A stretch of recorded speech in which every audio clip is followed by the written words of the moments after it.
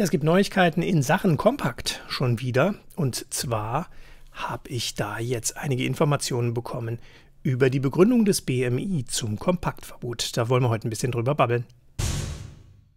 Ein Willkommen zu diesem neuen Video hier.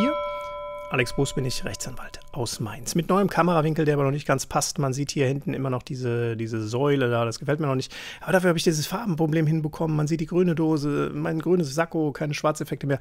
Das ist auch was Schönes. Also machen wir erstmal so weiter und äh, gucken dann, wie sich entwickelt. Ich suche trotzdem noch ein anderes Stativ. Irgendwie gefällt mir das auch nicht so. Also, die Begründung des BMI liegt vor, womit die dieses Kompaktverbot der beiden GmbHs, wir haben uns ausführlich damit befasst, begründet haben. Das Ganze habe ich im LTO gelesen. Den Artikel verlinke ich euch unten, könnt ihr selber lesen. Ich will es nur mal kurz zusammenfassen. Und äh, zusammenfassend sagt äh, LTO hier, das Magazin Kompakt werde gezielt als Sprachrohr für verfassungsfeindliche Ziele verwendet.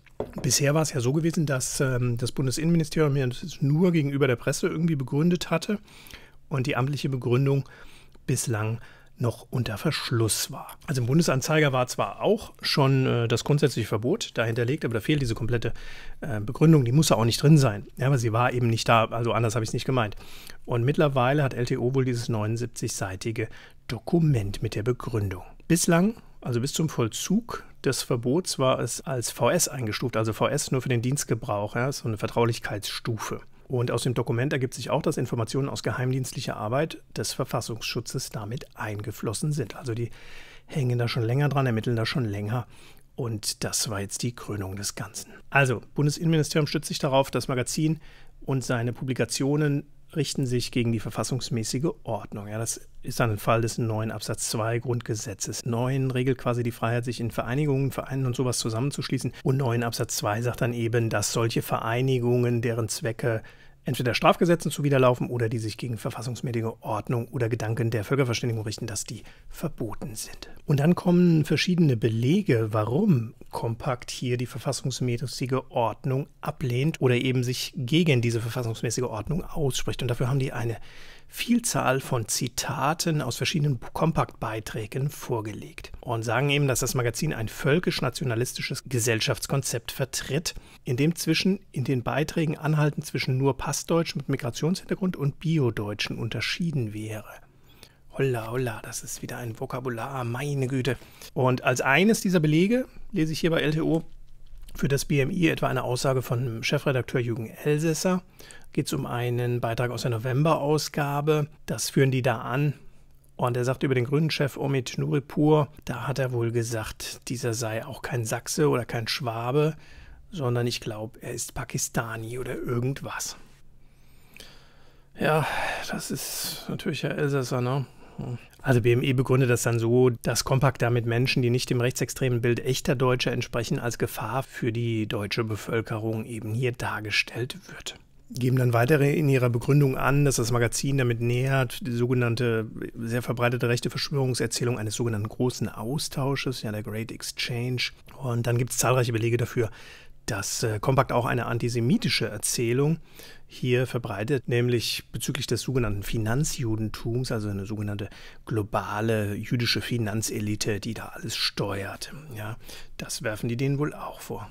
Und dann sagt das BMI auch, das hatte ich in meinem langen Video zu der Thematik auch gesagt, man braucht ja so eine kämpferisch-aggressive Haltung gegen die äh, demokratische Ordnung oder gegen die verfassungsmäßige Ordnung. Und das sagen die eben, ist bei Kompakt erfüllt, denn die würden auch so eine aggressiv-kämpferische Haltung einnehmen.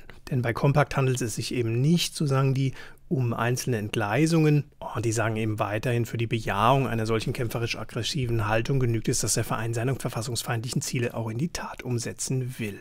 Kompakt selbst, so das BMI, schlägt wohl auch ähm, eine Lösung für dieses selbst erklärte Problem des Bevölkerungsaustausches vor. Kompakt hat da wohl auch einen, einen Begriff aus der Nazi-Zeit verwendet, die sogenannte Umvolkung. Und zwar soll die Lösung für Kompakt wohl in diesem ja, Vorschlag des österreichischen Rechtsextremisten Martin Sellner liegen, ja, sogenannte propagierte Remigration.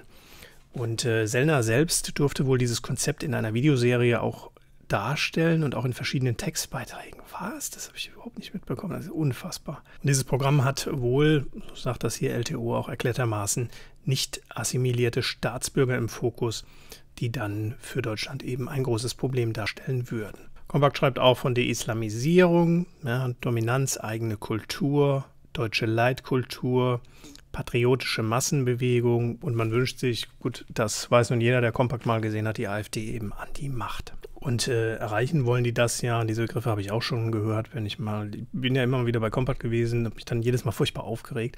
Aber machst halt auch zu Recherchezwecken, hat ja auch schon mal Videos über die gemacht und sowas. Und da ist immer mal der Begriff gefallen, der Abwahl der Herrschenden, ja. Und die neue Regierung, so steht das dann hier, die soll dann massenhaft abschieben und dafür ein Remigrationsministerium schaffen. Das ist ein Vokabular, da kommt einem fast die Galle hoch, muss ich ehrlich sagen. Ja.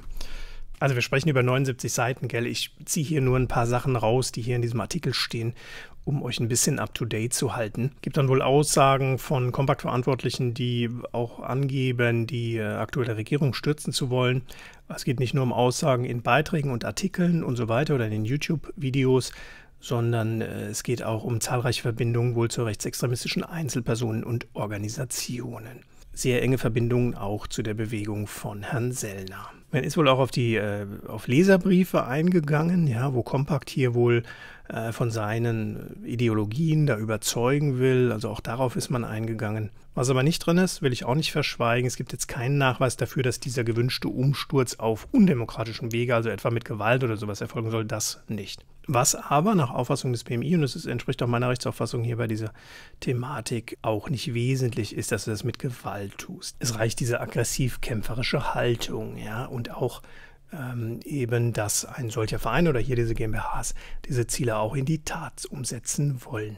Das würde ausreichen. Und weil diese verbotenen Gesellschaften, also die zwei GmbHs, wir hatten uns damit befasst, ähm, die eben das Magazin an sich und den äh, TV-Kanal betreiben, vertreiben. Und die bekämpfen eben nach Auffassung des Bundesinnenministeriums aggressiv verfassungsmäßige Ordnung, ja, und deshalb verbieten sie die nach dem Vereinsgesetz. Ja, also die Voraussetzungen sind da. Ich meine, ich habe jetzt natürlich wieder nur nicht die eigenständige Begründung, aber LTO schreibt eben auszugsweise, was sie an Begründungen da eben haben. Die haben es ja komplett.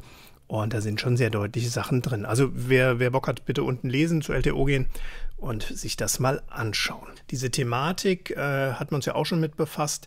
Das greift natürlich jetzt in die, in die Vereinsfreiheit, Vereinigungsfreiheit ein und natürlich auch in die Meinungspressefreiheit. Und dass es da natürlich verschiedene Schranken gibt und Abwägungen und sowas, das wird wohl hier unter Berufung auf Rechtsprechung des Bundesverfassungs- und Bundesverwaltungsgerichts in diesem 79-seitigen Papier eher knapp behandelt. Und da heißt in dem Papier unter anderem, die anderen Grundrechte müssen zwar Berücksichtigung finden und dürfen nicht unterlaufen werden, aber sie werden laut BMI nicht zum selbstständigen Prüfungsmaßstab. Und hier ist ein Zitat wohl aus diesem 79-seitigen Papier. Soweit Betätigungen dem Schutzbereich weiterer Grundrechte tangieren, gilt üblicherweise der Grundsatz, dass die Eingriffe auch an diesen Grundrechten zu messen sind. Etwas anderes gilt jedoch für Vereinsverbote. Denn auch wenn weitere Grundrechte betroffen sind, muss sich ein Vereinsverbot in erster Linie an der nach Artikel 9 Absatz 1 speziell geschützten Vereinigungsfreiheit messen. Und die stellen eben darauf ab, denn auch im Artikel 5 ist natürlich innerhalb der Schranken die allgemeinen Gesetze genannt. Und die sagen eben, das Vereinsgesetz ist eben ein solch allgemeines Gesetz. Ja, also dadurch kann man in Meinungs- und Pressefreiheit eingreifen. Das ist unterm Strich sicher richtig. Trotzdem wird es da dann eine Abwägung natürlich im späteren Gerichtsverfahren, also ich prognostiziere, dass das kommt, da wird es dann auch eine solche Abwägung natürlich geben. Und das Bundesinnenministerium macht wohl noch einen weiteren interessanten äh, Punkt auf. Die sagen nämlich, sie zweifeln an, dass sich Kompakt überhaupt auf die Pressefreiheit berufen kann, sondern sie sagen, Kompakt missbraucht die Pressefreiheit viel mehr.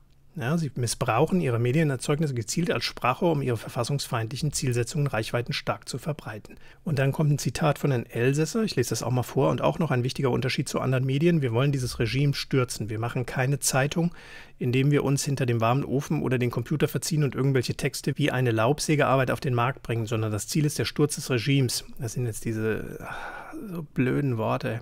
Und nur wenn man das Ziel vor Augen hat, kann man auch entsprechende Texte schreiben. Ich lade Sie ein, den Weg, den wir gehen wollen, zu begleiten und zu unterstützen.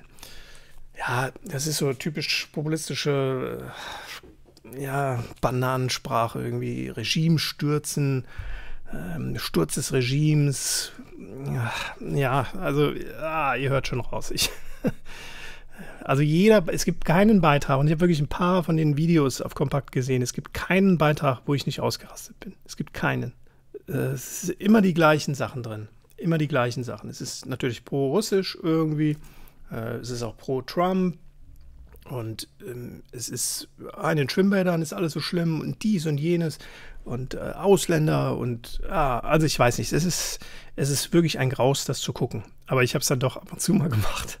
Ja, ich weiß auch nicht warum. Aber zum Einschlafen ist das nichts, sage ich gleich. Ich habe mich viel zu sehr aufgeregt darüber. Und ein, zwei Mal hatte ich, glaube ich, das auch in einem Video dann verwendet, wenn da besonders äh, blöde Sprüche irgendwie drin waren. Ja. BMI sagt auch, Meinungspresse und Rundfunkfreiheit hätten dort zurückzutreten, wo sie ausschließlich der Verwirklichung verbotswidriger Vereinszwecke dienen.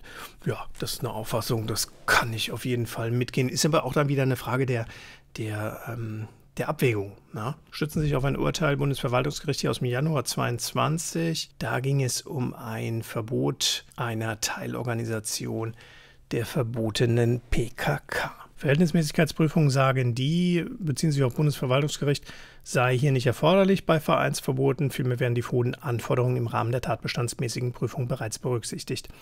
Ja, also es gibt natürlich trotzdem äh, die äh, viel besprochene Abwägung hier zwischen den verschiedenen Rechtspositionen, die da kommt man auch nicht drum rum aus meiner Sicht. Ja. Aber interessant, dass Sie sagen, Verhältnismäßigkeitsprüfung findet nicht statt, argumentieren dann aber auf der anderen Seite, natürlich ist trotzdem das mildeste Mittel zu ergreifen. Machen Sie es dann natürlich leicht, weil Sie sagen, mildere Mittel gegenüber einem Totalverbot ist nicht ersichtlich. Ja. Müssen wir drüber nachdenken. Mildere Mittel ja gut, man könnte ihnen untersagen, bestimmte Dinge zu tun, aber wie willst du das praktisch umsetzen? Du kannst ja nicht jeden Artikel vorher lesen oder denen dann bestimmte Auflagen machen, ihr dürft nur das und das schreiben. Das wäre ja genauso ein Eingriff dann in, in Pressefreiheit oder sowas, ja. Also von daher, wir erinnern uns aber auch an die äh, Auffassung von Herrn Werdermann, ja, von, äh, von dieser Gesellschaft für Freiheitsrechte. Der hatte ja auf dieses EMRK-Urteil hingewiesen, wo mehrere türkische Tageszeitungen verboten wurden und äh, der Europäische Gerichtshof für Menschenrechte hat dieses Verbot dann aufgehoben. Aber zu dieser Thematik EMRK findet sich wohl, sagt LTO hier in, den, in dieser Begründung nichts. Ja, also soweit ist das. Ist schon mal interessant. Hier steht aber unten auch ausdrücklich ein Hinweis, dass Sie den Artikel laufend aktualisieren äh, und da immer neue Sachen dazukommen. Also ähm, die sind da anscheinend auch noch nicht ganz durch mit der Prüfung oder was weiß ich was. Aber trotzdem interessant, ich verlinke das unten. Ja, dann sind wir ein bisschen up to date. Also, LTO und ich weiß nicht wem noch, ich habe jetzt nicht nachgeguckt, liegt auf jeden Fall diese Begründung vor. Wahrscheinlich gassiert sie dann auch irgendwann komplett durchs Internet. Okay, wir bleiben am Ball, würde ich sagen, oder? Also, bis zum nächsten Mal und ciao.